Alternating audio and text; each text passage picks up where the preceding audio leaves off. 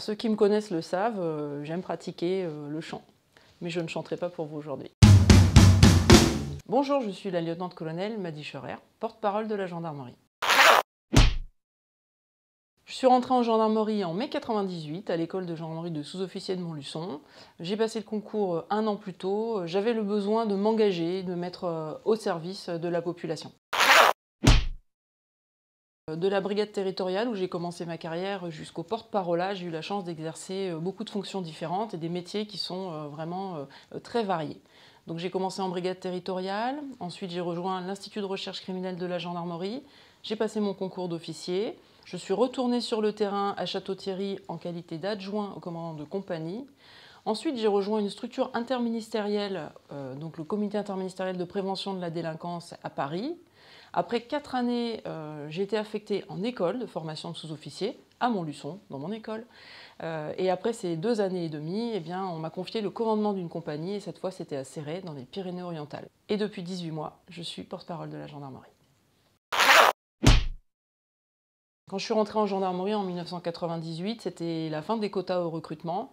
Donc euh, nous étions euh, un peu plus de 7%. Aujourd'hui, euh, il y a 20% de femmes en gendarmerie, donc je constate que dans mon quotidien, je travaille avec beaucoup plus de camarades féminines qu'à mes débuts. L'exposition médiatique, elle génère évidemment du stress.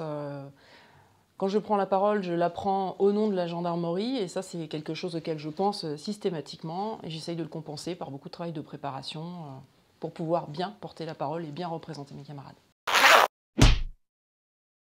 Euh, les qualités pour être porte-parole, je dirais euh, la disponibilité en même temps que la réactivité, évidemment l'écoute du terrain et certainement euh, la sérénité pour bien porter la parole.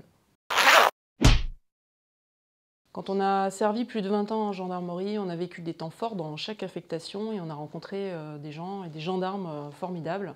C'est des camarades auxquels je pense souvent. Euh, malheureusement, les journées sont assez contraintes et denses. J'ai pas nécessairement le temps de prendre des nouvelles aussi souvent que je le souhaiterais.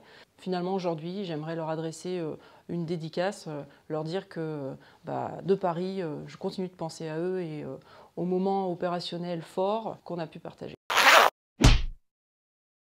Si vous êtes jeune et que vous souhaitez devenir gendarme, n'hésitez plus, interpellez-nous, euh, venez nous parler, laissez-nous vous expliquer ce qu'est notre métier et combien il est utile pour la population. Il y a tellement de métiers en gendarmerie qu'il y en a certainement un pour vous.